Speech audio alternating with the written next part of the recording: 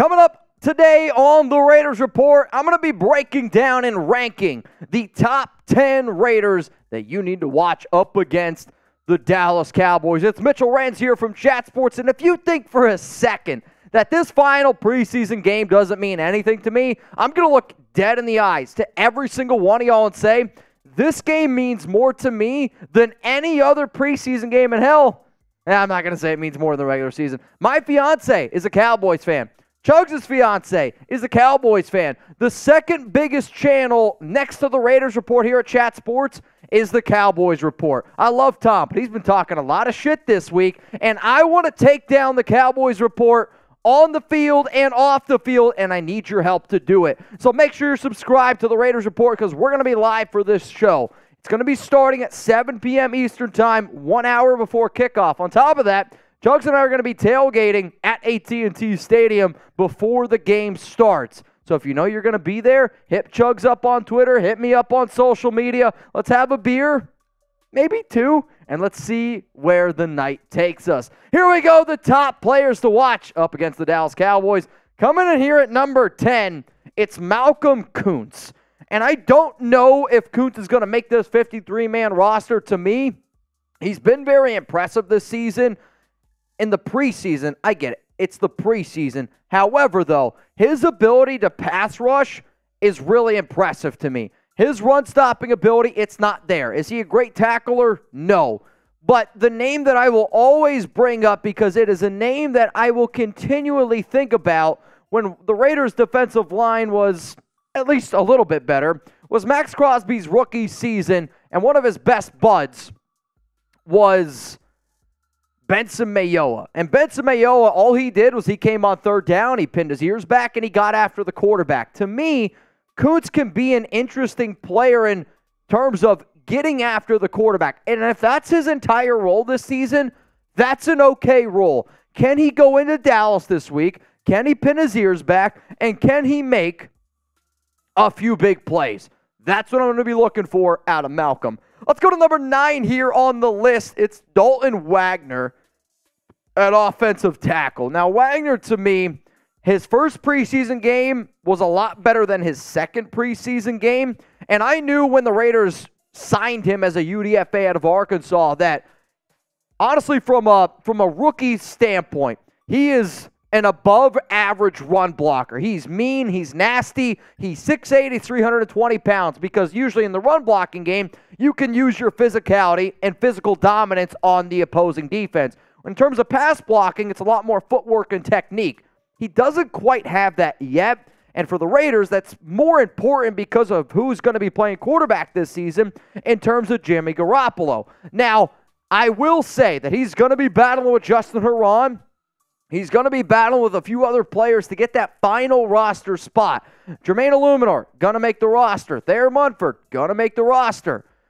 If this Raiders team decides to keep 10 offensive linemen, maybe Wagner makes it. If he has a good, and I mean a really solid game, if I was this Raiders organization, I would rather bet on Dalton Wagner than Justin Herron. And honestly, it's not close to me. Let's go to number eight here. It's McClendon Curtis, another UDFA offensive lineman, because to me, Curtis has been spectacular. If you were to look at all the PFF grades for the Las Vegas Raiders this season, McClendon is number one with a 92 overall grade. He's been solid in run blocking, he's been solid in pass blocking. And one of the reasons why I was really excited last season when the Raiders drafted Dylan Parham is because an offensive lineman, and I'll say one of the toughest positions in the NFL is to play offensive lineman. And I've talked to numerous NFL scouts, I've talked to numerous NFL players, and one of the top traits that people look for in an offensive lineman is your ability to be able to process information quickly because whether it's a blitz, you got to put your body in the right spot. McClendon has done a great job with that early on. And against the Dallas Cowboys, I want to see how he's able to handle their pressure because they're going to try to bring it no matter who's playing quarterback. So let's play a game here because this is what the Raiders report is all about. And you know what? It's going to be the pinned comment on today's show. So you're about to get hit with a YouTube ad break. I want you to scroll on down right now and let me know if you could keep only one of these players on your 53 man roster, who would you keep? Dalton Wagner, Netane Muti, McClendon Curtis, Justin Herron. After this YouTube ad break, I'm going to give you my answer. I would love to be able to keep Dalton Wagner and McClendon Curtis, but I'm honestly, if I can only keep one out of that list, I am going to keep McClendon Curtis. Is offensive tackle a bigger need since Brandon Parker is done for the season? Yes. Is Netane Muti shown flashes of good? Yes, he has. The last preseason game, I didn't love what I saw on tape.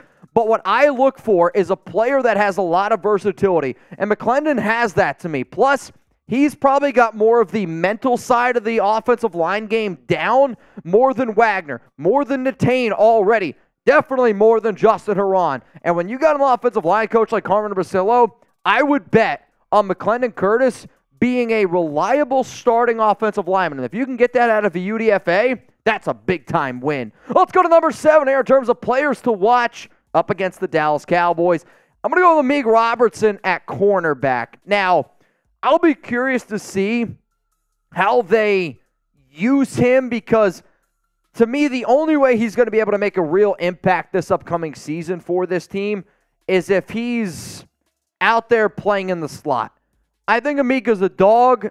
He probably wants to be an outside corner, but he's just got to be able to face the facts a lot of the times and just realize that he's just too small to play outside.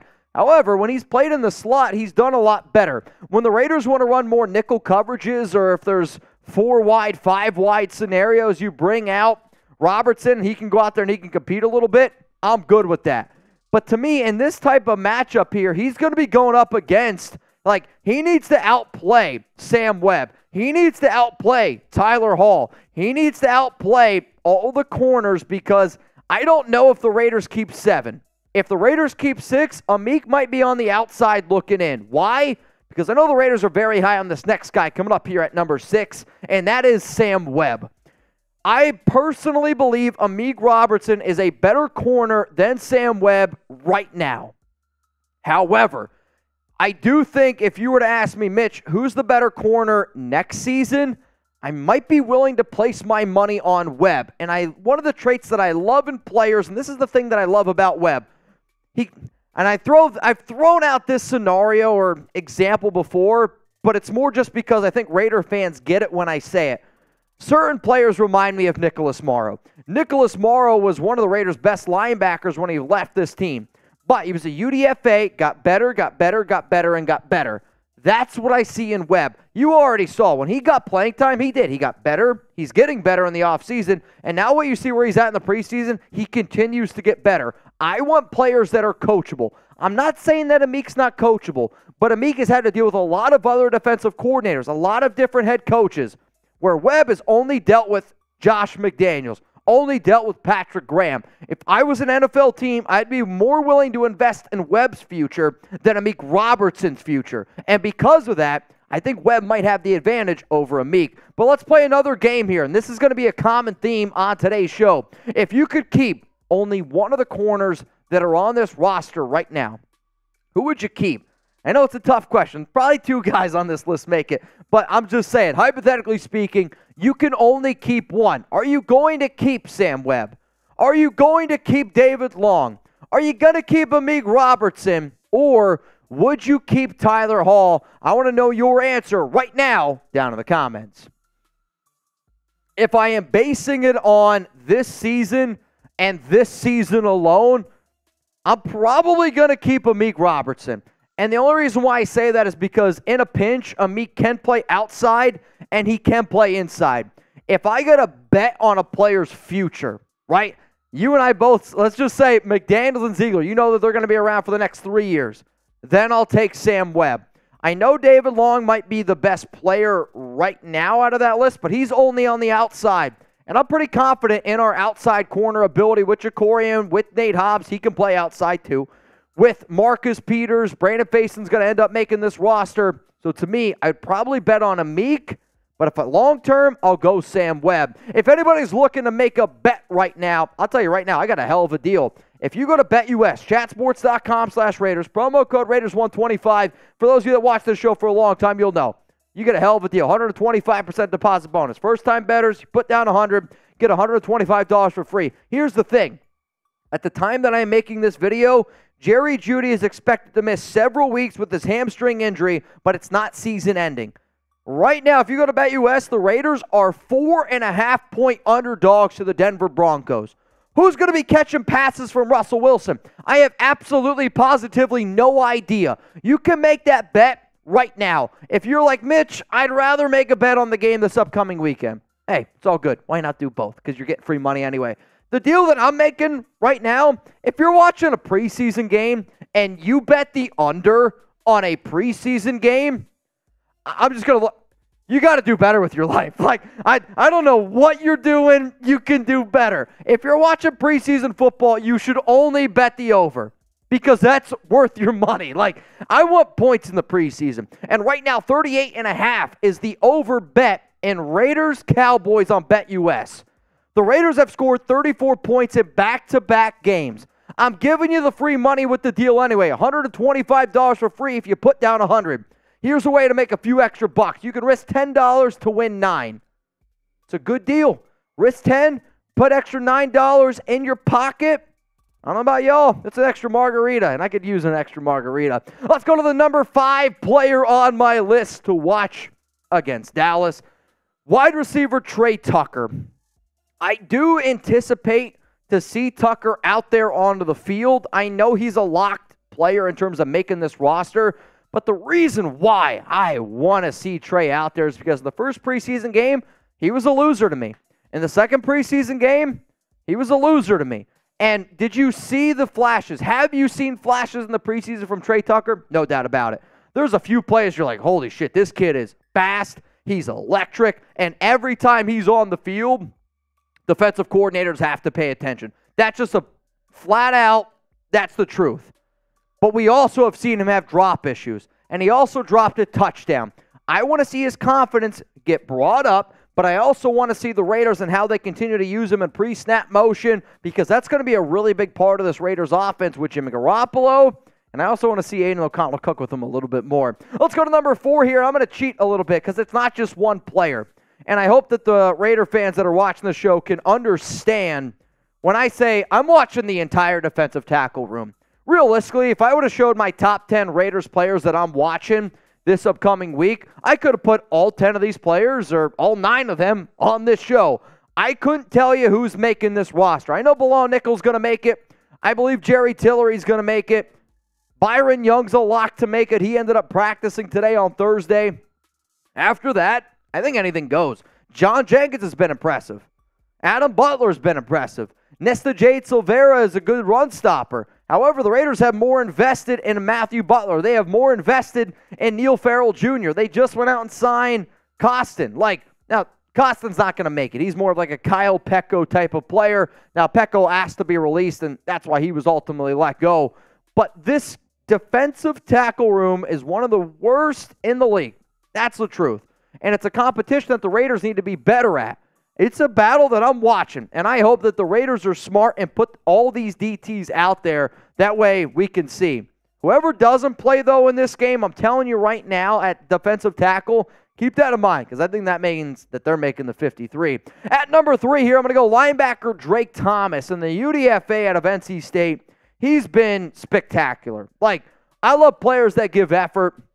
I will always bet on guys that show game in and game out, every single practice that he's going to go out there and he's going to give it his all. He had 12 tackles last week against the Rams, which led the Raiders. It led the entire preseason for most tackles in a game. And I'm going to look at all you right now and tell you, Drake Thomas is not the most athletic player out there on the field. But the trait that I love, the quality in a player that I love like Thomas is he reminds me of Maxx Crosby. I know, wait, wait, wait. He is not nearly as talented as Crosby. But the reason why Maxx isn't just a great player and why he's elite is because of the motor, because of the relentlessness, because of his determination. And that's what Thomas does. Like, there was a lot of scouts out there that said Maxx Crosby isn't that great of an athlete. Now, Maxx worked his tail off and always found himself near the football. That's what Drake Thomas does. He always finds himself near the ball. And you can say what you want about athletic qualities. When you have awareness, when you can anticipate where the ball is going, that goes a very, very far way. Robert Spillane going to make this roster. Divine Deablo locked and loaded. Amari Burney going to make it. After that, I think it is up for grabs here a little bit. And yes, you got Drake Thomas. Yes, you got Luke Masterson. The Raiders signed Isaac, my favorite last name on this team, Darkangelo, a few, literally yesterday, for those of you watching this live. But then to me, he's not even the top linebacker that you should be watching in this preseason game. The top linebacker that y'all should be watching is Curtis Bolton. And he's been phenomenal this preseason.